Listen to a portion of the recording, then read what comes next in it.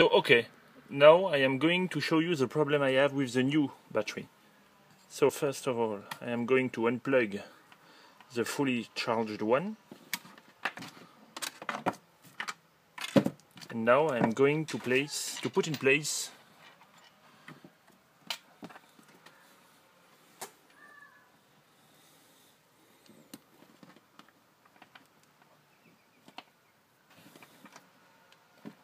Okay, so I'm going to balance the battery with 4 ampere and the final with a 2 element battery.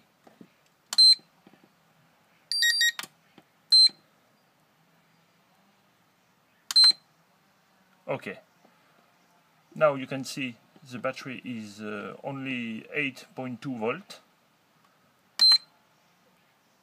and we are we have a big difference of voltage between the two elements. The first one is uh, fully charged with a, a voltage of uh, 4.2 but the second one only have 2.96 uh,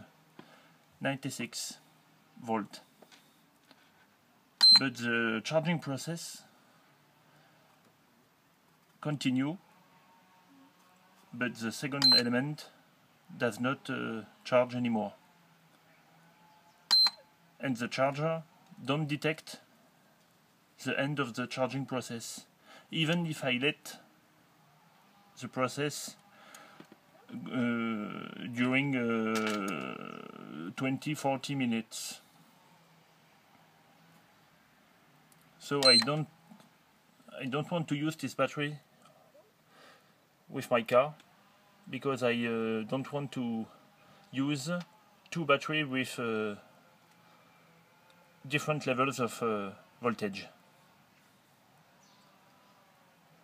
So you can see that the current uh, is just uh,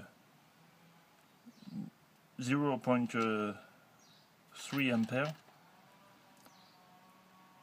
but the final charge don't move and the second element does not charge anymore. Here you can see the new battery. No inflation, no choke, perfect state. But I think the an element was uh, too low discharge when I received the battery. Thank you.